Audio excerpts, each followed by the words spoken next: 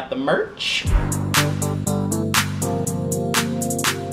I know that so many of you have so many questions about my upcoming role on Law & Order SVU. I have only a couple scenes in the episode. I'm guest starring, but it's also like a cameo, but I'm not famous enough for it to be called a cameo. So I am currently in my hotel room. I go to set at 8 a.m., which is just 10 hours from now, so I'm like freaking out. Anyways, I just wanted to answer a couple questions that I've been getting all week from my friends and my family and my mom. And I know some of you guys probably want to know the answers to this as well. So I just wanted to answer. This is honestly honestly just for me too, like just to document all the things that I went through to get this role. So here we go. Um, if you guys are wondering what I'm looking at, it's my laptop. So yeah. What was the audition process like? The audition process was kind of crazy. It took three and a half weeks for me to get this role. Originally, I saw the breakdown for this role online and I just submitted myself for it. It was kind of weird because they were looking for any ethnicity and any gender. So if you guys don't know what that means, that means that basically anybody in New York can audition for this role. They liked my submission and they asked me to come in for an audition, which was the very next day. I had to work. If you guys don't know, I work between the hours of 8 p.m. and 8 a.m. As soon as I got off of work, I took a plane to New York City, had to pay for a plane ticket, 200 bucks, got here, auditioned, paid for another plane ticket to get back, landed, and then as soon as I stepped off the plane, I found out that I got a call back, which was like crazy. I was like so excited. I got the call back and I was like, I'll pay $500 again for anything. And then I went to the callback and got the part. I went to the callback like three days after my first audition, and then I got the part three days after my callback. But like there was more time in between there. So yeah, it was about three and a half weeks for this role. So that was the audition process. It was kind of tough. they were trying me a little bit, especially in the audition room, just because I am a new actor when it comes to network television. If you guys don't know, I don't have an agent. I don't have a SAG card. For them to take a chance on me is absolutely beautiful. And uh, Thank you NBC and Dick Wolf and Jonathan Strauss. You guys are absolutely amazing. I love you. Tell us a little bit about your character. My character on the show, his name is Taylor Jones, and he's very persnickety, and he has ADHD. He's a part of like the special needs school. Uh, my inspiration for this character was Tracy Flick from Election.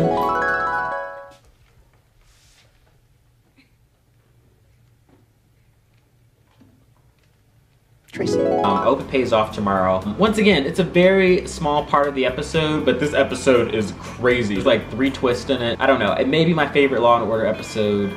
I'm gonna say that now, but we'll see what happens. Is this your first TV show? This is not my first TV show, actually. I started on a TV show called Fatal Attraction. It was an investigation discovery type of show for TV One. I played a guy named DeAndre who's like a witness to this murder, and it was the funnest time of my life. I drove to Knoxville, Tennessee and shot that, and it was absolutely amazing, and that was my first time on TV where I was actually seen. Do a Q&A later for you guys of acting opportunities I've completely missed, including being on set of Shades of Blue with J-Lo and having my scene cut.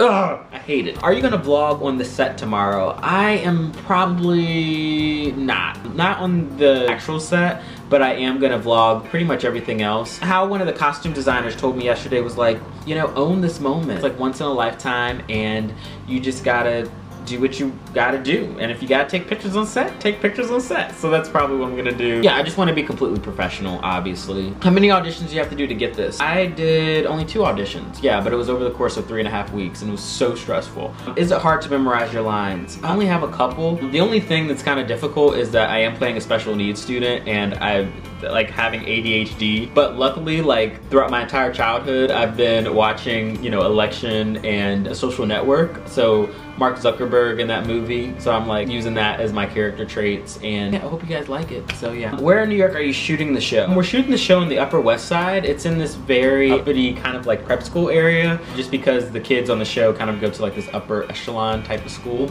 So once again, that's why I'm being like really persnickety on the show. Okay, what was the craziest and most unexpected thing to happen so far? The craziest and most unexpected thing that happened so far was going in for my fitting today and walking through the set of Law & Order. I had no idea that the same place that the production offices are and the same places that I was auditioning is the place where they have the courtroom and Liv's home and Liv's child's home and it was just so cool. It's funny too, I'm glad that like I got to see that because I was like vlogging like the location of the production offices but the fact that like Mariska Hargitay like shoots in there. Like I'm, I know I'm gonna have to like edit my vlog to where it doesn't show a lot of that. That was the craziest and most unexpected thing. I haven't met any of the stars of the show and I probably won't just because I don't have any scenes with them, but once again, I can't wait for you guys to watch the show. What is your favorite Law & Order episode? My favorite Law & Order episode would have to be, there was this one back in like 2004, 2003-ish. Scully was still on the show.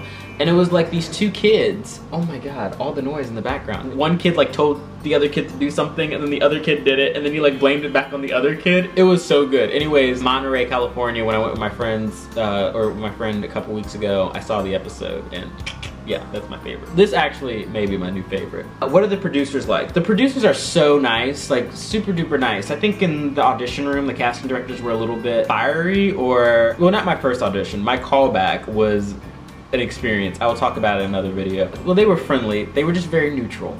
And I think that they were just trying to prepare me for how life is gonna be like on set since I've never really been on set for a network show or anything like that. So, I don't know. I just thought that was really cool. Um, are you excited to shoot? Duh. Do you see how big my smile is? Do you see how many pants I'm wearing or whatever? Oh.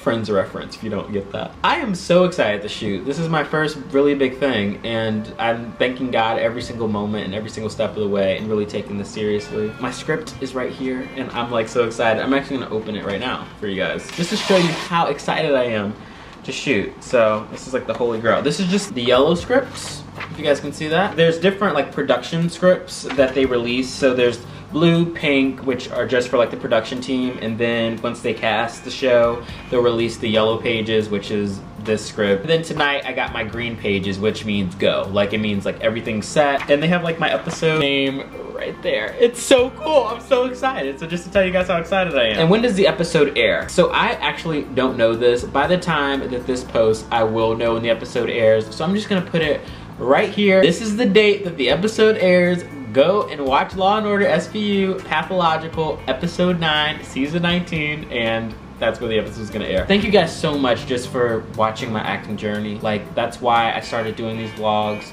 That was the original intention and now my dream is coming true and I'm really really excited. As a little boy watching this show with my grandmother I never thought that I would be on it so thank you God thank you everybody for supporting me for all the love I know it's because of you that all this has happened, the law of attraction. It's great. And yeah, I'm heading to bed. I got an early call time tomorrow. So thank you guys so much for watching. Talk to you later. Bye.